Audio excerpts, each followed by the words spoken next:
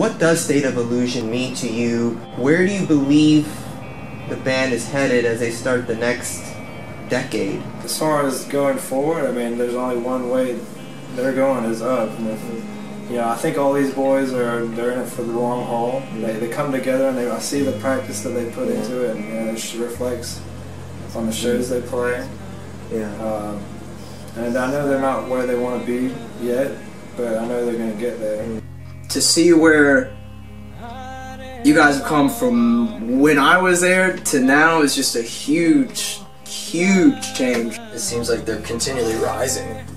Like the skill level's getting better, the production's getting better, the thought is getting more intricate, and it's like being refined. So that's cool to see. I mean, to me, like, I don't know why the, like, why you guys aren't signed already. Like, I don't, I don't understand. We've always been um, good friends that we've always cared about each other, and uh, that's been I mean, that that was the great thing about this band was uh, I think that's one of the things that I look back on and like wow that was special. I always look back with reverence, memories. You know, what I mean, I have these memories with reverence. I hold them dear because they're just like such a big part of my life. You know what I mean? But uh, looking back now at the 10 year mark, um, we've come a long way from our humble beginnings at Battle of the Bands for uh, Greenville Tech Charter High School um, up to, uh, you know, playing with Staind, uh, playing, you know, with a whole bunch of other great bands, you know, um, kind of pushing and making our mark on the music scene. Ten years down the road, in a decade, I know that I want to be playing music because of my times with State of Illusion. You know, looking at where they are now, um, I couldn't be prouder of what they of what they've accomplished since I've left. It's uh, been really, really great to see and then actually like go, go see them play a show and to see where like where they are at now compared to what it was whenever I was in the shows and ideas that we had then that have become a reality now. Stuff like you know we had dreamed of doing that's now becoming an actual real thing. Um, just really impressed to see how far that they've pushed the limits on the band. And uh, yeah, that's my story. I'm proud to have been part of part of this experience, and uh, can't wait to watch and see where they're going to go. Uh, it's been awesome. I, I look forward to it always. I just feel more. Um, I don't know how to say it, but we. I love doing it. We've done more in two years with this band than I have in ten years of my entire career. That's a powerful statement. That really is. I don't have much to show for previous bands, but I think this is definitely we've, we've got something going on. Yeah. and it, I've, I've always wanted to do it, and I finally get to. And these these guys are great. Um, and it's really we're starting to work on new music now, which I'm enjoying. Cause I, I mean, I'm playing these guys' music, Right. which is there's nothing wrong with that. I want I just want my piece in it, and it's it's fun. And the music writing's going good. We all like bounce off of each other. It's going really well. So it seems that there's you're, uh, there's there's gro- there's a lot of growth ahead. Oh yeah. And you do you see yourself being a part of that growth? Absolutely. I think it could be in my previous bands, there's always that uh, doubt. Maybe this, you know, if this doesn't work out, I've still got my other job, or I'll start another band, even more difficult to do.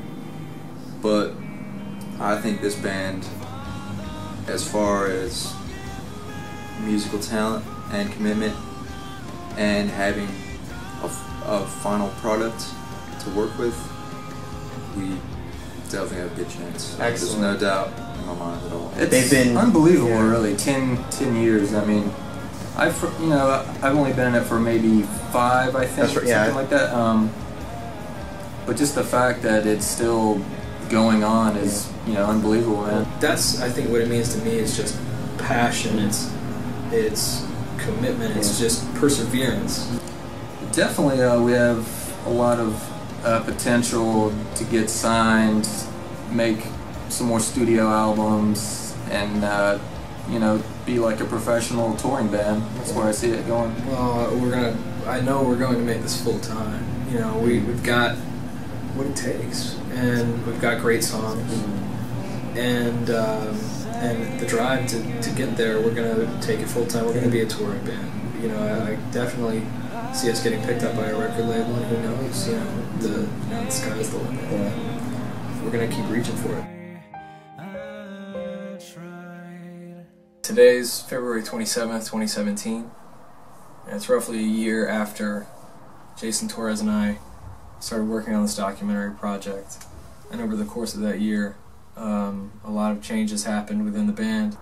Shortly after we filmed the interview portions of, uh, of this documentary,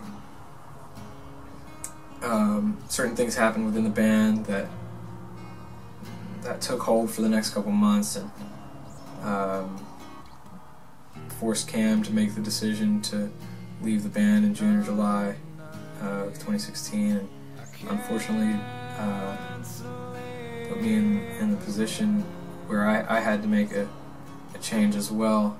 Unfortunately, at the end of 2016, I had to make the difficult decision to let Richard and Josh go, um, so that I could focus on the band and and, and kind of find myself within it again. Um, it was not a decision that I wanted to make. And I hated making it. I hated every part of that. Richard is definitely one of the best drummers in the area. There's nothing he can't play, and he's a great dude, really smart guy. Um, and Josh is just the most incredible all-around musician that I've ever played with. He can play any instrument better than anybody else. And I was fortunate to play with those guys. I had to had to move forward. And so right now I'm I'm pushing State of Illusion. Uh, I'm searching for for new members uh, slowly. Um, I'm gonna make sure I find the right guys. Uh, I'm not gonna settle. Uh, in the time being, God has blessed me with a, a great network of uh, really talented musicians and friends that are uh, willing to help me out. Uh, I've got I've got Cam coming back for a couple shows, um, which as you've as you've seen through this documentary is uh, you know nobody nobody strays too far. We all have really good relationships still. I've got Tom Carden from Solarist. Um, filling in on bass. He's incredible. We're working on his album right now, uh, the Solarist record, and it's going to be really great. The first few songs are amazing. Um, and I've got Bryce Chisholm from Broken Testimony playing drums. He's an amazing kid, uh, high energy, and man, this is the this is the most fun I've had in this band in a long time. And you know, this this is the best I've felt within the band in a long time.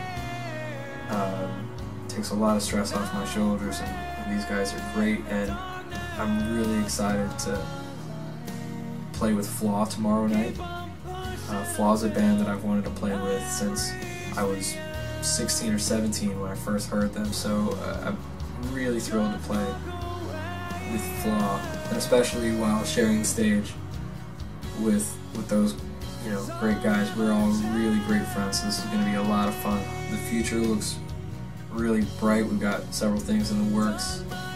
Um, just with with this group of guys that are filling in, and um, I can't wait for the next stage of State of Illusion.